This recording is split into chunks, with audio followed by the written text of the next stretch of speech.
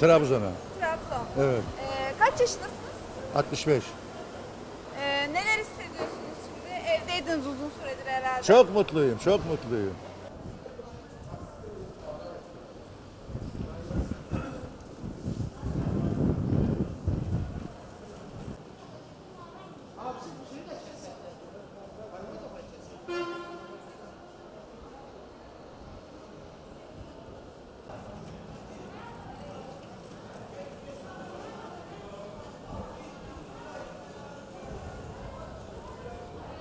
Aydın.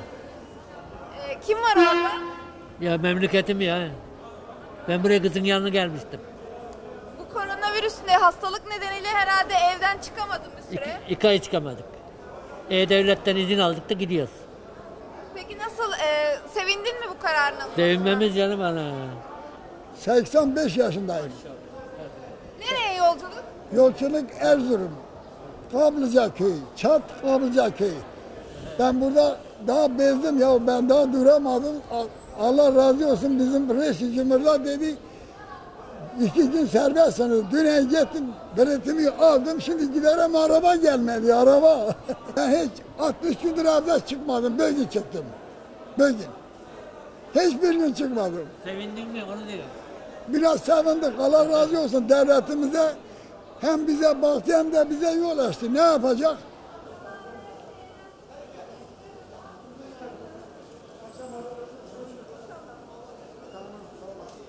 Neler hissediyorsunuz? Sıkıldık sonradan gidiyoruz işte şimdi geldim. Ben İstanbul'da oturuyorum da buraya şöyle bir iki günlüğüne geldim burada takıldım kaldım. Bir şey de söyleyeyim. Erzurum üstünde boyuna kalsın diyeyim. Değme er. Erzurum üstü çiçek yorak getir gül biçer. Ben o gülü tanırım orta boylu mor çiçek. Erzurum saza benzer, kirhuroz kaza benzer. Kekliğim keker gelir, tivini töker gelir. İki göğür bir olsa dağları söker gelir. Bugün çıkmadık elden. E, bayağı sıkıldık tabi. Eşim, kızım, oğlum İstanbul'da. Bayram için oraya gidiyorum şimdi. Bu kararı duyunca sevindiniz mi? Çok sevindik hem de. E, olmasaydı buruk yaşayacaktık. Eşimden, çocuklarımdan ayrı yaşayacaktım. İçim buruk olacaktı. Eğer biz biraz insan olarak kendimizi bilir, izolase edersek, içeride kalırsak eski bayramlara kavuşuruz. Ama yapmazsak kavuşmayız.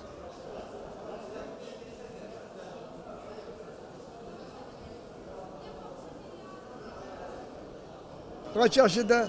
93 yaşındayım. Ha vallahi. Nereye gidiyorsun? Ben Mardin'e gidiyorum. Mardin'de kimler var? Bak Kızıltepe. Kim var orada? Ha? Ya benim eski evim oralardadır. Ya evim orada da, burada da var, orada da var. Bayram nasıl, eskiden nasılsa yerinde de öyle olacak. Camiye gideceğiz, bayramımızı kutlayacağız. Sağ onların yanına gideceğiz. Daha akrabalarını sok orada.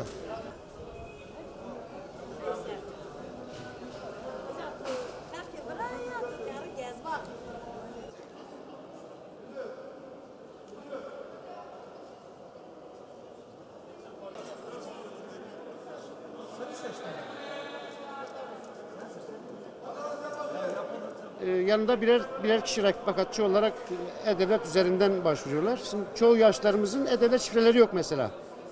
Oğlu üzerinden başvuruyorlar. O şekilde çıkıyor. Refakatçi olarak izin var şu anda. Bugün de bayağı bir talep vardı. Çünkü bizim o taraflar havalar güzel. Burada çok sıcak. Yaşlarımız normalde Nisan ayında giderdi. Ama bugüne kadar kaldılar. Şu anda Sağlık Bakanımız güzel bir yasa çıkardı. Güzel oldu onlar için. Çok iyi oldu yani.